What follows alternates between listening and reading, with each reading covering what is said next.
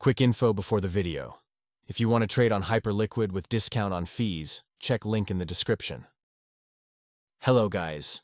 In this video, I will show you how to place sell or short order on Hyperliquid. First, let's go to app.hyperliquid.xyz. Before we start, make sure you have USDC on your Perps account. Now, let's click on the current symbol and let's go with XRP just as an example. Now on the right side, let's change margin mode to isolated, as I prefer this one. Next button is leverage amount. Let's change it to lower one. I will go with 4x and confirm.